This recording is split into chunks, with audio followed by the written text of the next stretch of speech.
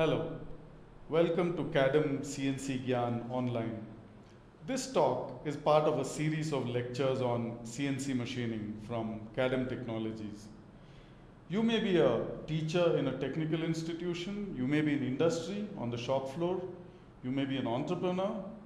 Whatever your role, these lectures are designed to quickly give you basic knowledge of CNC machining, which you can then build upon.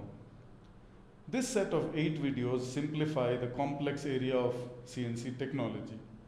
These lecture videos extensively use CADEM's multimedia CNC education software to bring the shop floor live on your screen. Happy learning.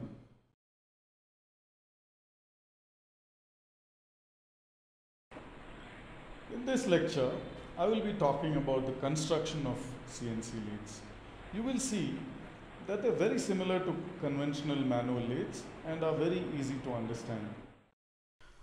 The bed of a CNC lathe can either be a flat bed or a slant bed. This is a flat bed and you can see the chuck, the turret for holding tools, the cross slide, the tailstock. This is a slant bed. Its benefit over the flat bed are that everything is closer to the operator. There is better visibility and chips slide down to the bottom automatically. These guideways are sliding guideways like the ones on conventional lathes.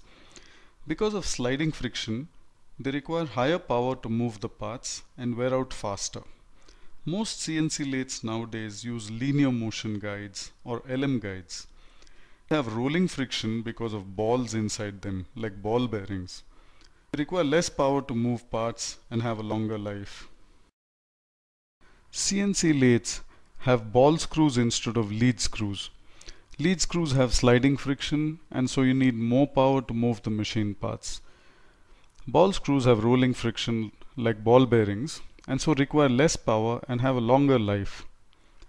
This is how ball screws are fixed on the machine. You can see the ball screw, the nut and also the LM guides. This animation shows how a ball screw works. You can see the balls circulating in the nut as it moves actually. This is what it looks like when it is in motion on a machine.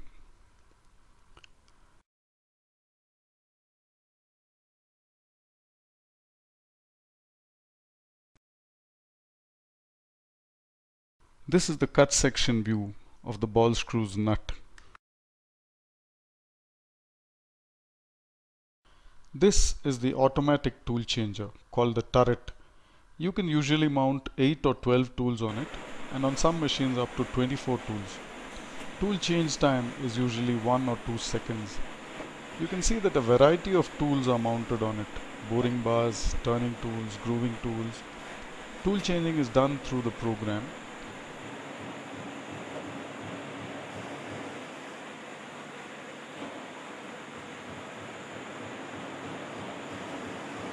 This is a gang type tool changer. It is used on low cost machines for turning simple parts that require only a few tools, maybe up to 4 or 5 tools.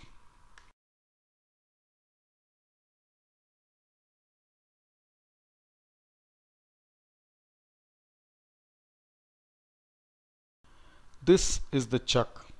It is usually a three jaw self-centering chuck operated hydraulically.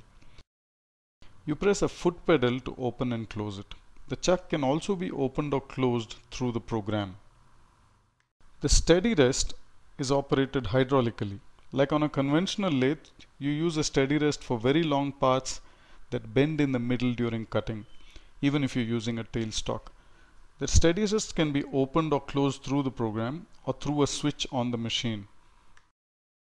The tailstock has a body that can be moved and bolted manually in any position depending on the length of the job. The part of the tailstock that goes in and out and has a center is called the quill. The quill can be moved in and out through program commands or through a switch. We saw the main mechanical parts of the machine. We'll now see the electrical parts. The brain of the CNC lathe is the controller. It is a powerful computer that is like a PC and in many cases it is an industrial grade PC. It has an operator interface as the front and at the back end it controls the various parts of the machine based on the CNC program or on switches operated by the operator. The controller sends signals to a device called the Programmable Logic Controller or the PLC to operate the tool changer, switch on and off the coolant pump, open or close the chuck and so on. It sends commands to the spindle motor drive to start and stop the spindle and control its speed. It also sends commands to the axis motor drive to move the axis motors that control the axial and radial motions of the cross slide. This is the electrical panel of the machine. The yellow boxes you see here are the controller, PLC and drives for the spindle and axis motors. Below are the various connectors, relays and circuit breakers that are required for transmitting electrical signals to the various parts of the machine. On a manual lathe, our brain is the controller. As we move the tool using the hand wheels, our brain is also continuously checking the tool's position and makes corrections to move the tool to the required end position. The CNC controller has a similar motion control loop. When it sends a command to an axis motor to move to a certain position, it continuously gets feedback from a position sensor on the axis and makes corrections so that the tool goes to the correct end position. This is called a feedback loop. There is a similar feedback loop for the spindle speed and for coordinating the tool motion and RPM in threading. The operator console is where the operator enters the program does various manual operations for setting the part and starts and stops the program execution. It has a display, a keypad and switches for manual operations. This is how a program is entered through the keypad. The keypad has numbers, alphabets, special characters like decimal point, keys for inserting and deleting characters, etc.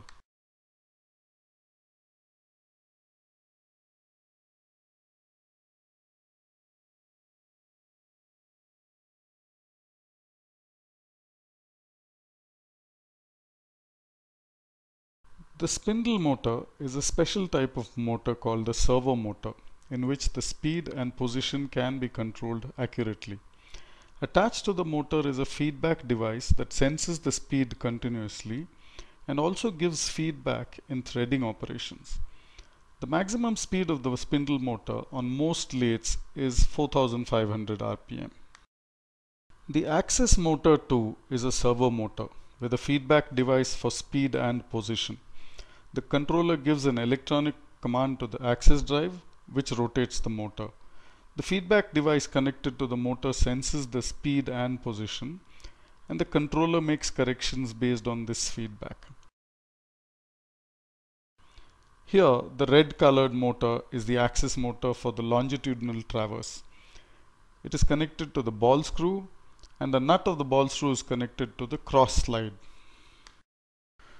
These are the key messages from this lecture.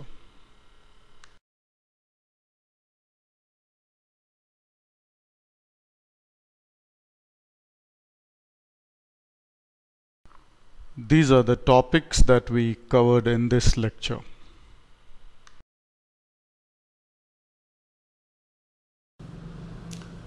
I hope you found this talk useful.